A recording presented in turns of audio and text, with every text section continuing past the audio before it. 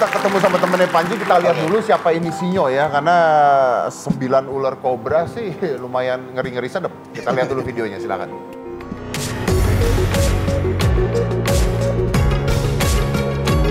Berawal dari seringnya menonton National Geographic, Suryo Negoro Basuki alias Sinyo sudah menyukai ular sejak kecil.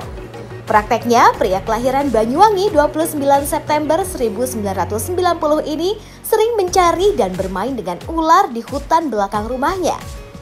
Uniknya, warga Madiun ini memiliki ular kesayangan jenis king cobra bernama Tejo yang sering dilepas layaknya piaraan hewan anjing atau kucing. Ingin tahu kisah selengkapnya? Hanya di hitam putih kali ini.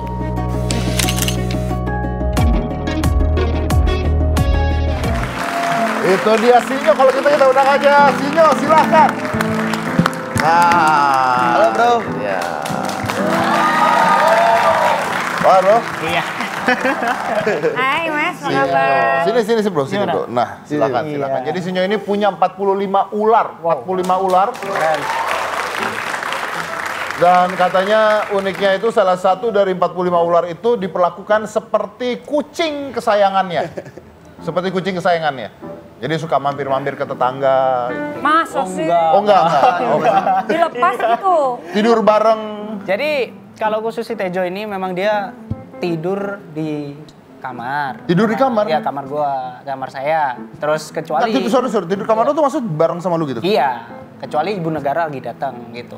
Oh, istri? Baru ganti. Ah, ah, iya, enggak, maksudnya ah, apa itu namanya? Calon tunangan saya kan sering ke rumah tuh. Ah, ah. Nah, kalau umpamanya dia kelihatan sama si Tejo ini dikeluarin, dilepasin. Kabur dia. Gak kabur, Takut marah.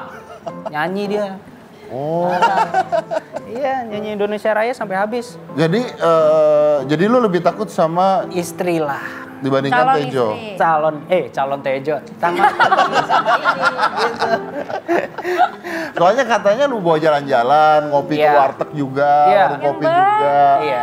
Dia pun mandi sama saya juga.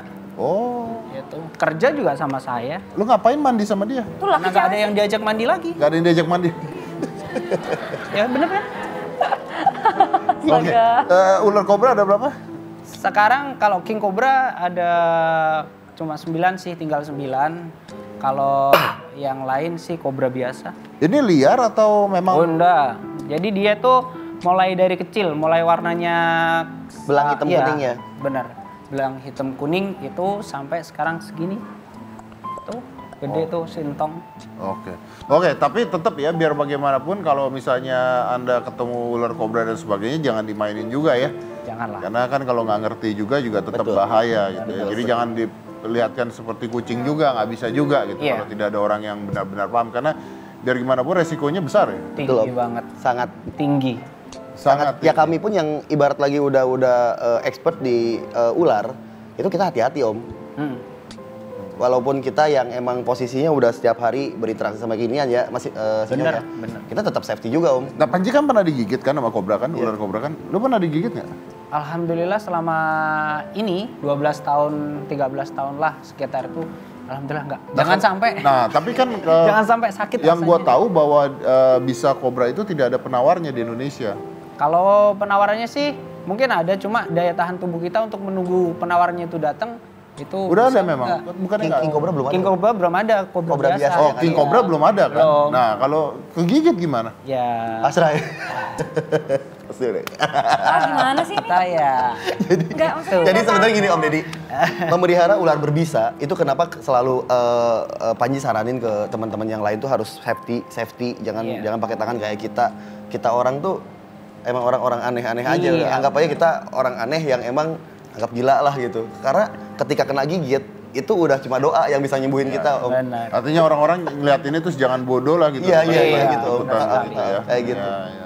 Ya karena punya kedekatan sendiri juga ya kalian ya. Tapi Mas Inyo sendiri pekerjaan aslinya apa? Saya di Taman Satwa di Taman Wisata Madiun Ubul Square di sana di Madiun gitu. Jadi memang tupoksi saya itu untuk menjaga satwa gitu di sana itu. Om Deddy kapan-kapan jalan ke sana? Oh siap, siap. Iya. Ah, maaf, nggak, bukannya jauh ya? Oh iya, ya enggak, dekat kok. Cuma nyebrang pulau Jawa Tengah aja. Anda pingin saya jalan soalnya. Oke, ke Capek. satwa berarti di sana semua satwa, bukan hanya ular ini aja. Saya cenderung ke predator. Ke predator. Iya, kemarin habis gigit beruang nih, Digigit beruang. tembus. nih, sini sampai sini nih. Tembus tuh mas. Tembus. Waduh, Nih. kayak apa rasanya mas? Rasanya nano-nano. Enak ya, Mas? Tawuran sini. Kenapa? Kenapa kenapa lu bisa Iya. digigit beruang? Jadi gini Om, itu emang saya yang jahil. gitu. Jadi ceritanya gini. Ada beruang diam lu gigit dulu. Bukan. Bukan. Kan Masa gitu sih, Siapa tahu namanya jahil kan, oh, Aduh. beruang ya. Nah, kan ceritanya gini. Waktu saya nganter teman-teman dari SD kan, biasa kunjungan banyak tuh. Nah, saya antar biasanya tuh kalau umpamanya saya mainan sama beruang itu, itu kan beruang mulai dari usia 2 bulan sampai sekarang 6 tahun, taringnya tuh sekian. Nah, itu biasanya saya sendiri mainnya. Nah, masuk di dalam kandang, udah kayak anak sama bapak lagi berantem gitu. Nah, terus habis itu datanglah sama rombongan. Nah, nggak tahu kalau beruang itu perutnya lagi sakit. Ya saya lus perutnya.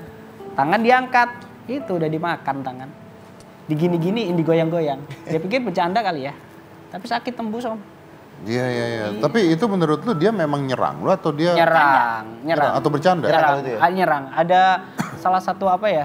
eh, kayak ada satu momen mungkin dia bisa menggambarkan bahwa dia itu senang, marah, ataupun dia kayak gimana emosionalnya. Artinya kalau beruang begitu nggak seperti nggak punya one man-nya ya?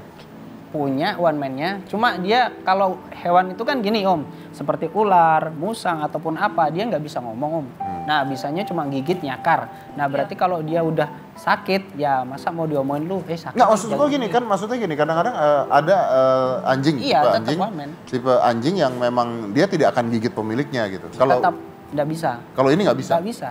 Jadi itu tadi Karena, karena, memang basicnya dia liar ya. memang liar, bisanya cuma gigit sama nyakar gitu Iya, aja. iya, kalau iya. udah kesakitan ya udah dicakar gitu. Base-nya liar. Oke, oke, oke. Dan nanti kita akan lihat terus mereka akan berinteraksi dengan hewan-hewan ini selain satu ini. Jadi jangan mana-mana tetap di hitam.